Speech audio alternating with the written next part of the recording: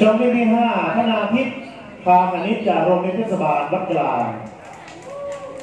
ช่องที่หกพงศนารัตนธรรมจากโรงเรียนสาธิตมหาวิทยาลัยขอนแก่น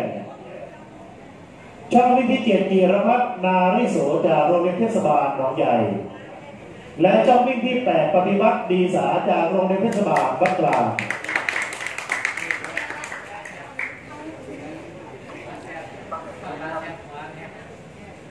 เอา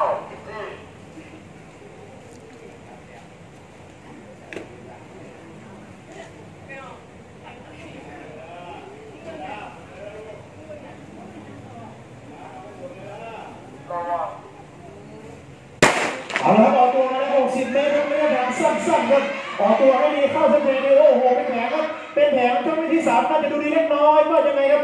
แม่ช่องวิ่งที่สามนะครับน่าจะ ดูดีกว่าใครอื่นนะครับธนกิจหานสีจากเมืองพล ส่วนอันดับสองอันดับสามที่ดูไม่ทันเลยครับ อันดับ